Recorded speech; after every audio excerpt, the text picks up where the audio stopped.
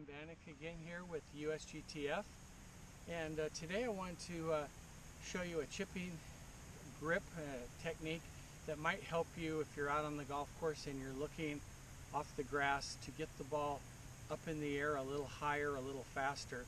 Uh, the traditional grip we've been talking to folks about on chipping is thumbs down the shaft, uh, thumbnails to the sky but we're going to do that with a slight modification.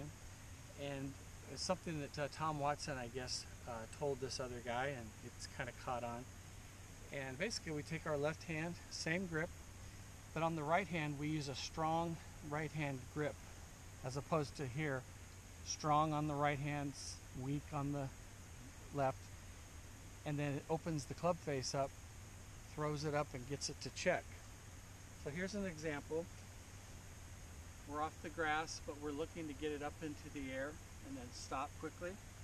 So we take our grip, normal on the left hand, strong on the right, opens the face up.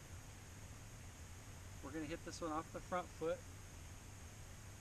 a little bit of weight forward, finish the shot.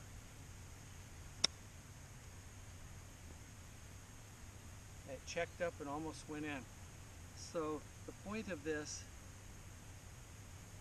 is that for shots around the green where you need to get the ball up in the air, hit and stop quickly, consider regular grip on the left, strong on the right, open the face, off the front foot,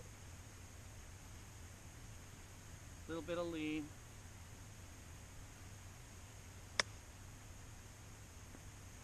finish the shot. Try one more.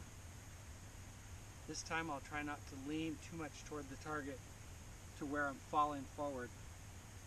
Strong right grip, nice and tall, a little bit of lean, easy back.